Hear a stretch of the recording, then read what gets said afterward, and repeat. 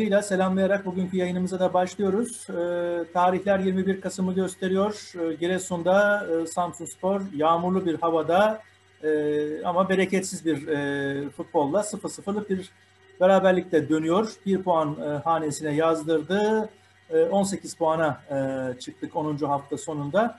E, yani vasat bir sonuç. E, karşımızda e, Samsun Spor e, yorumcumuz, e, Kırmızı Beyaz Siyah Samsun Spor kitabıyla tanıdığımız e, ve e, ta, tüm Samsun Spor camiasının yakından tanıdığı e, sevgili Mehmet Yılmaz Hocam var. İstanbul'dan bize katılacaklar. Hocam sokağa çıkma yasağı var. Dernekte değiliz galiba bu defa. Yok değiliz. Evdeyiz. Evdeyiz. Evet. E, ne diyeceksin? E, nasıl bir maç oldu? Yani e, biz şimdi maç biter bitmez bu programı yapıyoruz. Geçen de söylemiştim. Duygular çok taze oluyor. E, moralimiz bozuk. Yani beraberlik iyi bir skor değil bence. Yani neden değil? Şöyle geçen hafta Altın Ordu maçını kazansaydık, 3 puan alsaydık e, bu deplasmana beraberlik yazılabilirdi. E, fakat orada kaçırdığımız için 2 puanı burada kazanmamız gerekiyordu. E, kazanabileceğimiz bir maçtı da. E, fakat e, olmadı. Yani genel olarak baktığımızda e, mesela ortada başladı oyun ama 25. dakikaya kadar kötü bile oynamadık. Yani çünkü kötü oynadık dediğinizde e, oynamak e, tabiri var orada. Yani bir oynuyorsunuz. Kötü bile oynamadık. Hiç oynayamadık ilk 25 dakika. Çok çok kötüydü. Sonra e, dengeyi sağladık. E, oyunun hakimiyeti bize geçmeye başladı. İkinci devrede verdiğimiz bir pozisyon dışında yine oyunun hakimi bizdik. Yani oyunu tuttuk. Fakat bu yanıltmamalı. Oyunu tutmuş olmamız e, çok e, etkili bir futbol oynadığımız anlamına gelmiyor. Yani şunu merak ediyorum. E, ben mesela bir puandan memnun değilim. Maç boyunca tabii WhatsApp gruplarındaki Samsunsporlu arkadaşlarımızla da yazışıyoruz ara ara. Hiç kimse memnun değil bir puandan. Muhtemelen sen de değilsin. Yok tabii. Dediğin, vasat. Evet acaba teknik heyetli futbolcular memnun mu? Yani bunu merak ediyorum. Bilmiyorum da cevabı. Zannetmiyorum kimsenin memnun olduğunu ama yağışlı bir hava vardı ve saha çok kötüydü. Ee, teknik oyuncuların hiçbir şey yapamadı. Çok kötü.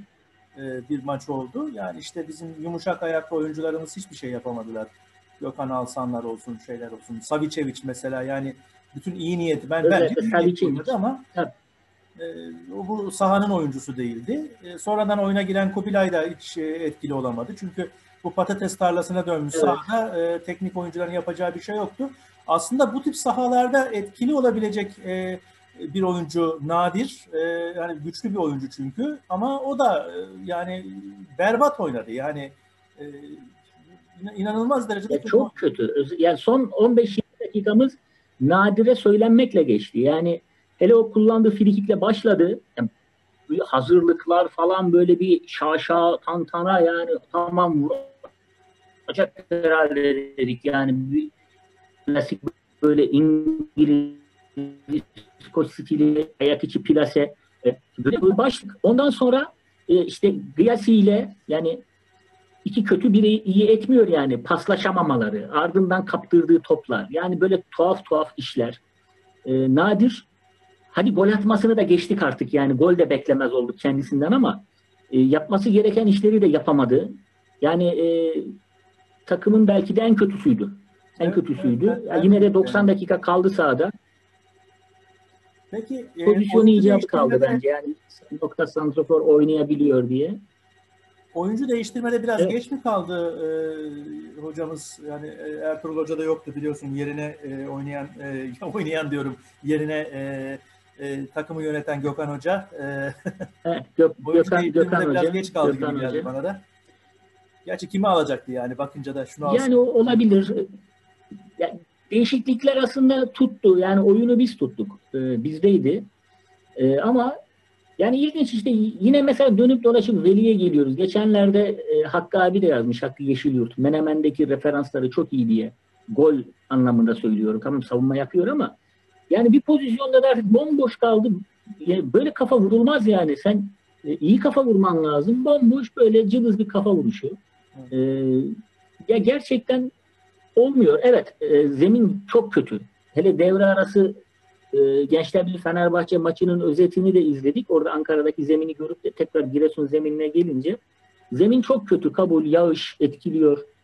Ama şöyle bir şey var yani rakip e, tahmin edildiği kadar güçlü bir rakip değil. Yani Giresunspor geçmişte çok daha iyi kadrolar kurmuş bir camiaydı. Bu sene iyi bir kadrosu yok yani mağlup edilebilecek bir takım. Buna rağmen ben şuna takıldım. Maçın daha 16. dakikasıydı. Ee, işte bir outla sonuçlandı Giresunspor atağı. Ee, bizim kalecimiz Nurullah gitti.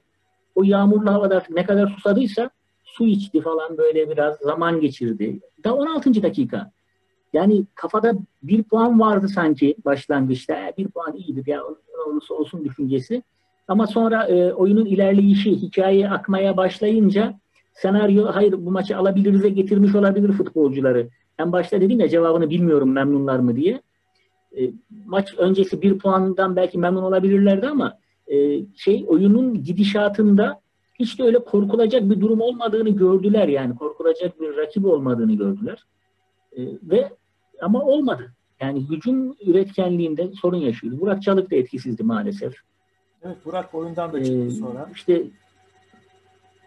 çıktı, etkisiz yapması yapabileceği şeyleri yapamaz oldu. Yani o iki sene önceki Denizli'deki performansıyla hiç alakası yok. Orada işte Recep Niyaz, Burak Çalık, e, işte Mehmet üçlüsü alıp götürmüştü Denizli Sporu. Şampiyon yapmışlardı. Evet. O, o şeyinde değil yani. O havasında değil. Bir de şöyle bir şey var Akın abi. Belki de sen soracaksın yabancılar konusunu. Evet. Ee, bilmiyorum soracak mıydın ama kadroya bakınca sen e, mühendis kafası olan e, çok titiz böyle e, işaretleri okuyabilen bir adamsın. Kadroya baktığın zaman şunu gördüğünü düşünüyorum. İki tane yabancı var. Biri sahada, biri kulübede. Dört yabancı ise yok. Yani toplam altı yabancı hakkımız vardı.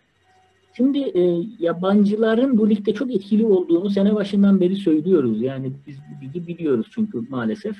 E, yabancıların sana e, ekstra iş yaptığında değer katar. E şimdi biz bakıyoruz en iyi iki yabancımız ama hepi topu üçer maç oynayabildiler. Boli ve Tomane sakatlandılar. Yani bunun adına şanssızlık, kısmetsizlik ne derseniz deyin. Ama kötü bir durum. Kötü. Yani verim alamıyoruz. E şimdi diğer iki yabancı Pluma ile Yamayogo kadroda bile yok. Yani kadroya almaya bile e, layık görmüyorsun. Şimdi o zaman aynı yere geliyoruz. Şimdi Yüksel Başkan e, hafta içiydi herhalde. Yabancılar Samsun'a pide ve balık yemeye gelmediler dedi. Haklı olarak bir beklentisi olduğunu ifade etti kendi açısından. Ama baktığımızda muhtemelen e, Giresun kadrosunda olmayan dörtlü pide ve balık yemiş olabilir bugün yani. Şimdi bu, bu anlam çıkıyor buradan.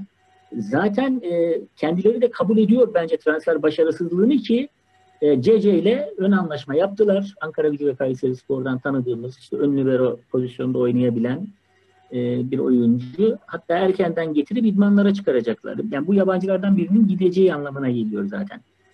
E, yani yabancı katkısı hiç yok diyebiliriz. Bugün hiç yoktu mesela. Savicevic Karadağ milli takımının yol yorgunluğu da belki etkisi vardı üzerinde. Ama e, yani o zeminin tamam teknik oyuncusun falan o zeminin oyuncusu değilsin gibi ama yani şimdi futbolda şöyle bir şey var. Bulduğun anda da etkili bir şut çıkarırsın, bir pas çıkarırsın. Tamam boğuşamıyorsun kabul. E, ince pas da atamıyorsun. E, o da yok. Bu çok etkisizdi Savicevic. Yani Griasi'yi e, hatırlarsan birkaç hafta önce şey demiştim. Futbolda oynamayan her zaman kıymetlidir diye. Griasi kulübedeyken acaba bir şey yapar mı girse oyuna? İşte kendi kaderini de bir değiştirir mi diye hepimiz aklımızdan geçirdik. E, kimimiz espriye vurarak yaptık bunu ama e, oyuna girdiği zaman da ya bir şey bekliyorsun ama o bir şey gelmiyor yani. Gelmeyecek de öyle görünüyor. E, yani bugünkü 90 dakikanın ve e, Giresun Atatürk Stadı'nın zemininin dışında da konuşabileceğimiz bir takım şeyler var. E, bunlar da eleştiri olarak kabul etmesinler lütfen, üzüntü olarak kabul etsinler. Çünkü biz e, Samsun Sporlu penceresinden bakıyoruz meselelere. Yani burada bir e, işte teknik taktik analiz falan yapmıyoruz. Ön bölgede karşıladı, ikinci bölgede şunu yaptı, bilmem geçişken oyun falan. Böyle şeyler konuşmuyoruz. Biz duygularımızla konuşuyoruz bu programda. Ve e, yabancı tercihimiz e, ciddi bir hayal kırıklığı. ve dediğim gibi bunu eleştiri alın başınıza kakıyoruz anlamında kabul etmesinler. Bunu üzüntümüz olarak kabul etsinler. E, gerçekten üzüntü verici yani. Doğru doğru tercihler olmamış belli. Hocam bir de şeyi konuşalım mı? Ee, evet. Önümüzde Tuzla Spor maçı var bildiğim kadarıyla. Ee, kritik bir karşılaşma. Yani Samsun'da oynayacağız. Ee, bu maçı e, alırsak e, farklı bir tablo ortaya çıkar. Allah korusun yenilirsek farklı bir tablo ortaya çıkar gibi. Ee, biraz da o maçı konuşursak ne dersin? Yani bu maç üzerinden yine o maça dönersek olumlu tarafı bu maçın gol yememiş olmamız.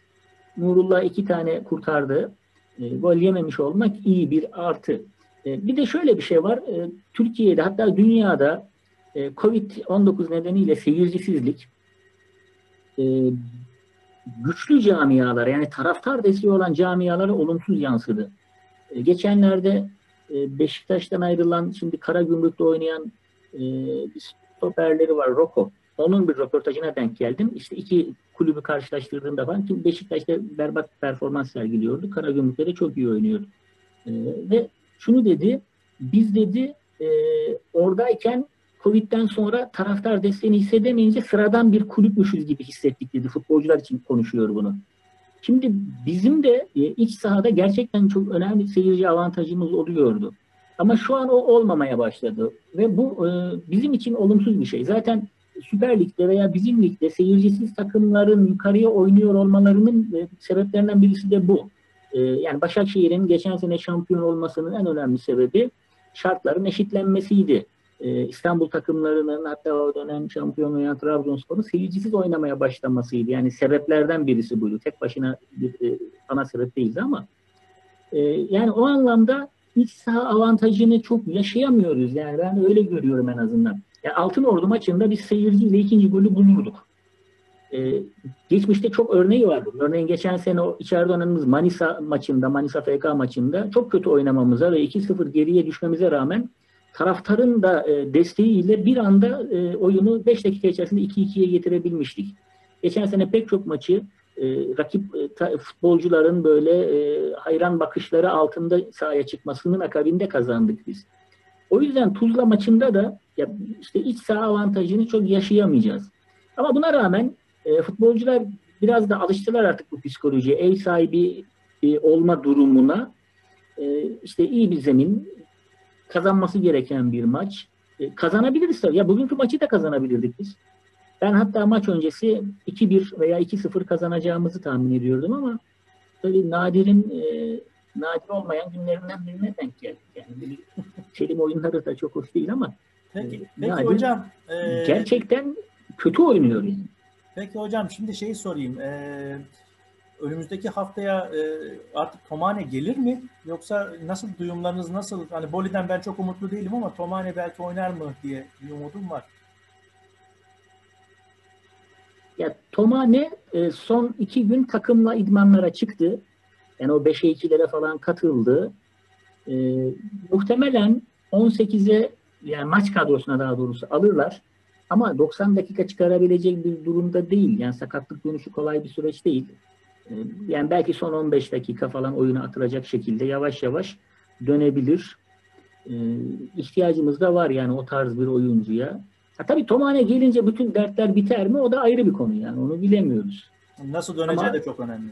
Bir, bir takım sorunları, bazı sorunları aşabiliriz yani onun gelmesiyle birlikte. E gerçekten üzücü şey gibi yani e, bin bir hevesle e, işte e, bir şey alıyorsunuz. İşte diyelim ki bir bilgisayar aldınız veya cep telefonu aldınız. Çok hevesle epey de para verdiniz. İşte birkaç hafta kullandınız ve gerçekten çok memnunsunuz. Böyle havasını da atıyorsunuz falan. Ama bozuluyor birdenbire. Servise gönderiyorsunuz. Ya bu öyle oldu Boli ve Tomane. İkisinden de memnunduk biz taraftar olarak. Fakat işte çölün taşı gibi en memnun olduğumuz ikili sakatlandı. Yani tabii Allah kimseye sakatlık vermesin ama yani Pulima ile Griesi sakatlansaydı çok etkilenmeyecektik yani. Bu ikisi sakatlandı. Tabii onlara da bir şey olmasın. Sporcular bir şey olmasın. Ee, yani şey gidişat bu. Evet hocam. Gidişat e, bu abi. E, tabii çok e, tatsız şey, bir maçtan bu arada sonra. Bugün, bugün Ferhat'ı Ferhat'ı yine Serhat'ı yine çok beğendim bugün. Yani mücadele etti. Savunma ikilisi iyiydi. Caner adaşıyla iyi boğuştu. E, ama tabii çok hücum çıkışları yapamadılar. Caner de, Keremcan da e, sabit kaldılar biraz. E, yani biz kazanabilirdik maçı. Bu arada tabii şunu da söyleyelim. Maçın başlarında e, Giresunspor'un bir penaltısını es geçti hakem. Yani hakem gördüğümüz kadarıyla Veli'nin eline çarpmış. Hakem genel evet, olarak çok kötüydü değil mi? Çok kaçırdı maçı hakem. Yani bu ligin hakemiydi işte öyle diyelim. Ekstra bir şey koyamadı ortaya. Yani şöyle Samsunspor lehine veya aleyhine bir e, tutumu vardı diyemem ama genel olarak özellikle faulleri ve pozisyonları çok kaçırdı. Yanlı değildi ama evet kötü. Kötü yönetim sergiledi yani onu söyleyebiliriz. Bir ara futbolcu ee, gibi düştü falan. Ama dediğim gibi yani biz biz kazanabilirdik yani daha iyi oynayan taraf bizdik. Ee, daha Olmadı. cesur olmalıydık. Kazanabileceğimizi en başta en başta hissettirebilirdik. Peki hocam şeyi sorayım mı? Ertuğrul ee, Hoca yani olsaydı bence futbolcular Ertuğrul Hoca'yı kenarda görmüş olsalardı bir ekstra bir şey olur muydu? Katkısı olur muydu? E, olurdu tabii. O, olurdu olmaz mı? Yani eğitim gibi düşün abi. Şey e, esas öğretmen gelmiyor derse işte raporlu, izinli yerine başka bir öğretmen geliyor. E, gerçi tabii Gökhan Hoca da o ekibin içerisinde yani tamamen yabancı birisi değil ama e, Ertuğrul Hoca'nın varlığı e, önemli yani motivasyon açısından. Tabii bir de maç içerisinde hocanın ne isteyeceğini de bilemiyordu biz. Evden seyretmiş, ulaşma, iletişim imkanı olmadı anladığım kadarıyla. Yani neler düşündü acaba? Aslında Ertuğrul Hoca'yı da bir e, yani bilmek isterdik ya açıkçası. Evinde izlerken böyle bizim gibi o da e, kızdı mı, bağırdı mı, çağırdı mı şöyle. Çünkü televizyondan da farklı olur ama e, farklı olabilir. Belki de olumsuz anlamda farklı olurdu. Yani oyuncuların üzerinde belki de baskı unsuru olabilirdi. Ama farklı bir hikaye çıkardı yani orada. Çıkabilirdi. Hocam tatsız tuzsuz bir maç oldu. Biz de tatsız tuzsuz bir program yapıyoruz işte böyle evet. ister istemez yüzümüz gülmüyor. Son sözlerini alalım. Ee, inşallah Tuzla maçından sonra bir galibiyet coşkusuyla program yaparız son sözlerim ilk işi olsun. Yani 12-13 e, gündür bunu mu bekledik? Yani e, Giresun maçına odaklanmıştık milli maçtan sonra. Şu, şu maçı mı bekledik? E, kötü bir maç oldu çünkü. E, Tuzla maçında da artık kazanmaktan başka bir çare yok. Yani kazanması gerekiyor. Çünkü çok sıkıştı üst taraflar. Son sözlerimde e, bu sabah aslında üzücü bir haberle başladık. 1951 e, Samsun doğumlu, 1970'li yıllarda Samsun sporumuzun e, formasını terletmiş. E, sonra Beşiktaş ve Altay'a transfer yapmış önemli bir futbolcuydu. E, ve yine futbolcunun son döneminde 81-82 sezonunda yine bir ikincilik şampiyonluğu yaşadı bizimle. Ertesi sene Süper Lig'de son sezonunu oynadı. Kemal Dikmen, Kemal Hoca altyapılarda da uzun yıllar görev yapmıştı. Samsun Spor'un 70'li yıllarının bir 11'i çıkarılacaksa eğer en iyi 11'i mutlaka orada savunmada e, ismi yazılacak bir isimdi. E, kalp krizi geçirerek vefat ettiğini öğrendik. E, bu isimler Samsun Spor için değerdir. Önemli isimlerdir. Kendisini e, rahmetle anıyorum. Allah rahmet eylesin. E, cenazesi de yarın kaldırılacakmış sanırım. E, yakınlarına ve Samsun Spor camiasına da başsağlığı diliyorum.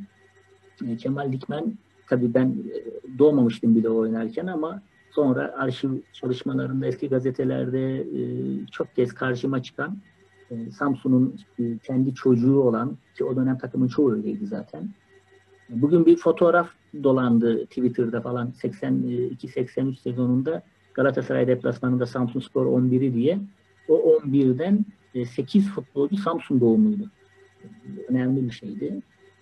Ee, o da öyle birisiydi. Tekrar e, Allah'tan rahmet diliyorum. Ee, yakınlarına da başsağlığı diliyorum. Bu şekilde e, son sözlerimi iletmiş olayım.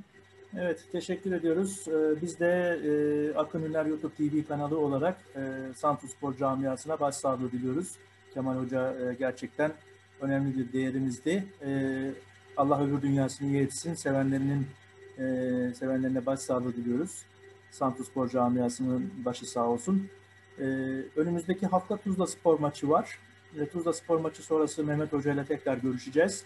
Pazartesi akşamı da bir aksilik olmadığı takdirde e, sevgili Özcan Pehlivanoğlu ile bir araya gelerek 10. hafta karşılaşmalarının tümünü bir değerlendireceğiz.